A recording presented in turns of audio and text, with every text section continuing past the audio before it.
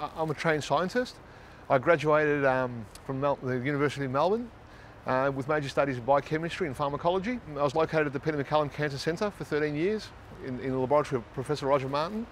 Um, and after that I started my own laboratory, the Epigenomic Medicine Laboratory, which is about eight years old now. With health and wellness with olives and olive oil, there's, uh, again, there's two, two different areas that we can, we can look at. The first one, what we really need is a large-scale human clinical studies. There are some clinical studies that are, that are out there now. But what we need is we need clinical trials in specific disease processes.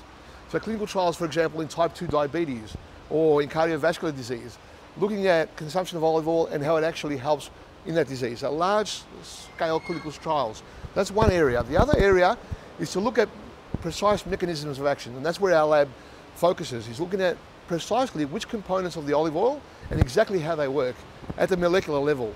And that way there is we can understand exactly how the different components work and then we can either do two things. We could either add those things back into the olive oil in order to make, make the olive oil even healthier or we can um, try to make pharmaceutical, pharmaceutical grade compounds, like individual compounds that we can then give it to people, like extra, from different extracts.